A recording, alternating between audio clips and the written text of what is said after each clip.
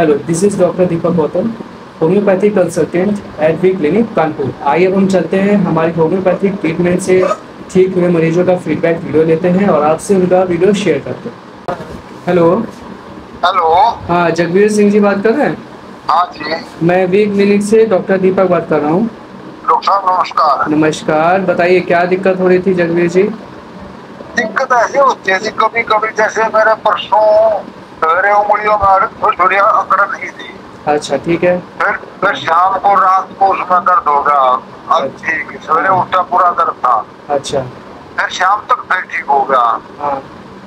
तो ऐसे ही होता दर्द होता है। जब कभी कभी होता है दो दिन के बाद हो जाता है फिर ठीक हो जाता है। ऐसी ये यही समस्या है। अच्छा जो ट्रीटमेंट आपने लिया यहाँ से हाँ तो आपको आराम कितना दिखा था?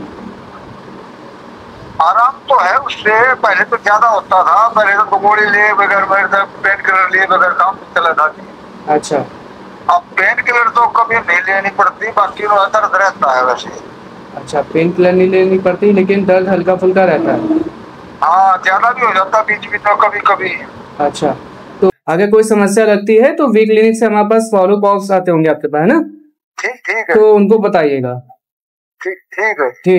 अगर आपको भी ऐसी कोई समस्या हो, जैसे sciatica slip disc cervical gout rheumatoid arthritis या ऑस्टियो आर्थराइटिस तो आप हमारी वी क्लिनिक टीम से संपर्क कर सकते हैं और अपनी किट बुक करा सकते हैं।